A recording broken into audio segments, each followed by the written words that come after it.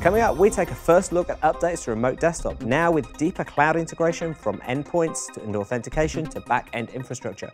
We'll show you new service architecture options to improve security and authentication, simplified setup and management leveraging Azure, and transformative app delivery and end-user experiences.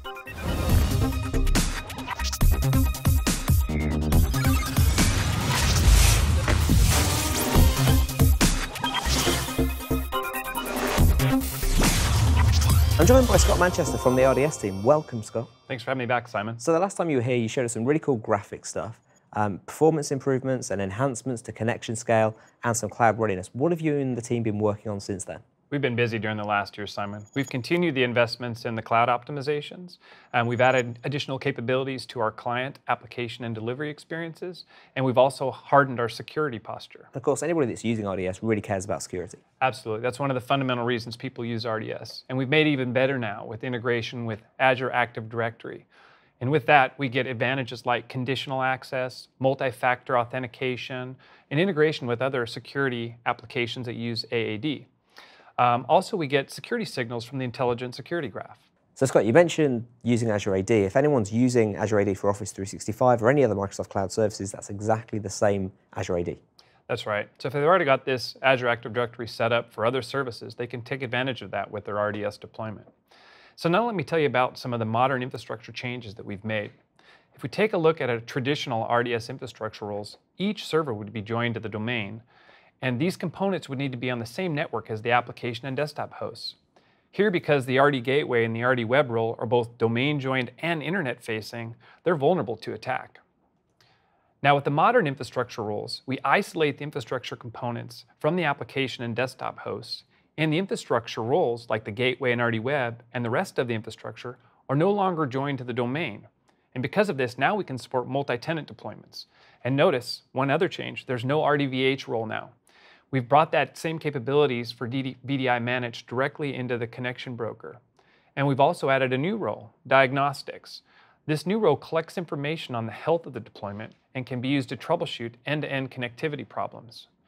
And finally, the application and desktop hosts no longer require open inbound ports. They establish an outbound connection to the infrastructure using port 443. So all these architectural changes are going to give people a lot more flexibility for running this infrastructure outside of their own domain. I can see this being really appealing to hosters since they no longer need to actually connect to the customer's domain. Absolutely. Hosters will be able to stand up a single RDS modern infrastructure deployment and service multiple tenants. And if hosters are deploying into Azure, they're really going to love this because in Azure now they can take advantage of installation of the roles as PaaS services. So you no longer need to manage the VMs individually, and you get seamless elasticity and scalability that comes with Azure. Also, we support hybrid deployments, so you can have the application and desktop hosts on-prem or in the cloud in a separate environment. And that brings all of those increased advantages with regards to seasonal workers, vendors, and the like who may be accessing from different environments or might be just accessing occasionally. You also mentioned improvements in delivery options. What have you been doing there? We're expanding our remote desktop client portfolio to bring virtualization to any device. We continue to support Windows, Android, iOS, and Mac, and now we support HTML5 and the new Windows 10s edition. So Scott, this is all sounding pretty cool, but can we see some of this in action? Absolutely. Let's start off with the security demo. Okay. So I've already set up a deployment here where I've got all my RDS infrastructure in Azure. Mm -hmm. And I've also set up another VNet with a bunch of VDI instances. So now I'm going to access that deployment using our new test application that's been enlightened with AAD. Okay. So I could have set this up so my users use single factor authentication, but how cool is that? Yeah. We're gonna, we're gonna use two-factor auth. So I've set up this user three here uh, to require two-factor authentication. So let me log into the client application here. So first I'll pro provide my username and password. Now it's asking me for a verification code. So here I have my iPhone device and I've got the Authenticator app. So I'm gonna provide the security code that's being presented to me here. Click sign in. And voila, there you go. So now I've been able to uh, get a list of all the available resources that are part of that deployment using two-factor authentication. So the first live demo of two-factor auth using AAD with RDS. That's pretty impressive. This is actually going to really help people to increase their security posture for the login, and also you get all of those benefits of uh, MFA and conditional access and the Microsoft Intelligent Security Graph, all for remote desktop services. Can you explain actually what's going on behind the scenes though?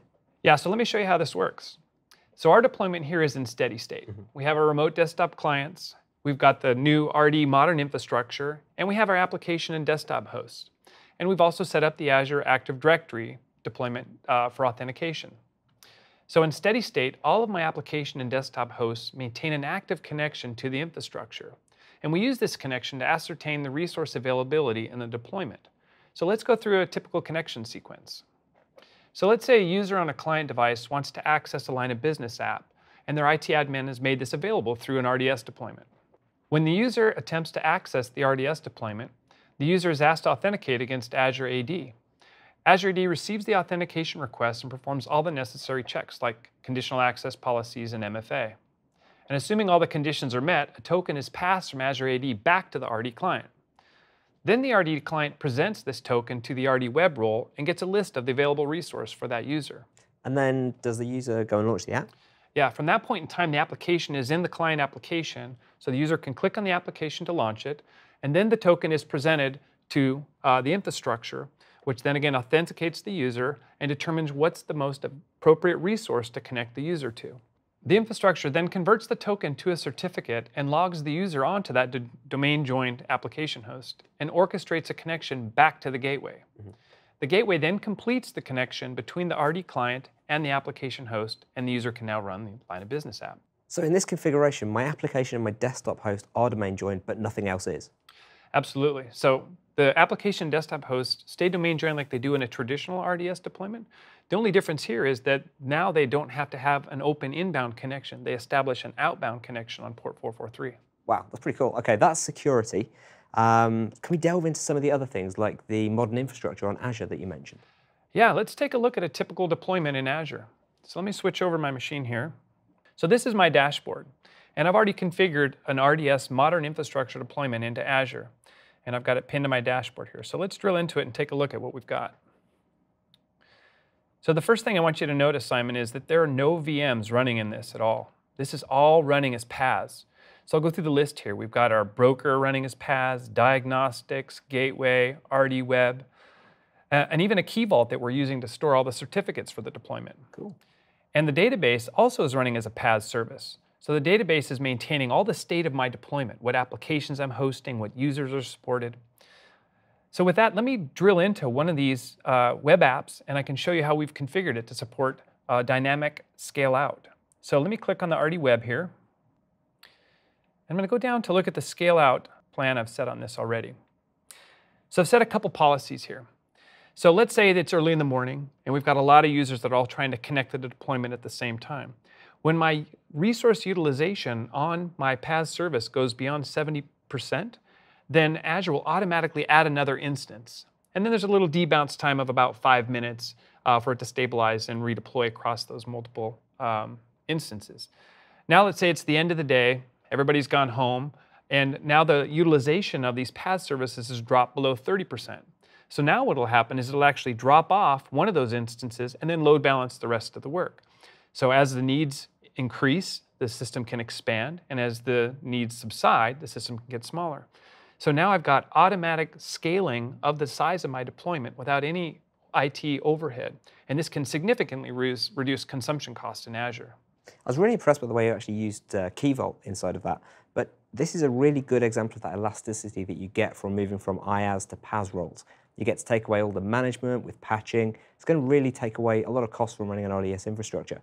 I also picked up in there that you mentioned that there's no RDVH role anymore. Yeah, that's right. By eliminating the RDVH role and having the broker, broker talk directly to the VDI instances, we can now support VDI management in Azure. Um, also, by separating the infrastructure from uh, the application and desktop hosts, we can also support multi-tenant and hybrid deployments. Very cool. So the last piece that you mentioned at the start was um, application delivery. What have you been working on there? Yeah, let me close with a really cool demo on that, Simon. So let me just switch tabs here in my browser. Uh, and I've already established a connection using our new HTML5 client to my deployment. And what you see here first is a list of the applications and even a desktop that's been shared with me. So let's launch one of these applications here. Now under the covers, I've signed into this using my AD credentials, and it's going to log me in using a certificate to the VM. And voila, there we are. We're running this application. So let's don't stop there. Let's run a second application. So I'm going to bring up my app bar here. We'll run a second application here also and see how fast that second application launched. Nice. So once I've established a, a session in this, um, in this instance, now I can quickly switch between these different applications. Let me also show you full screen.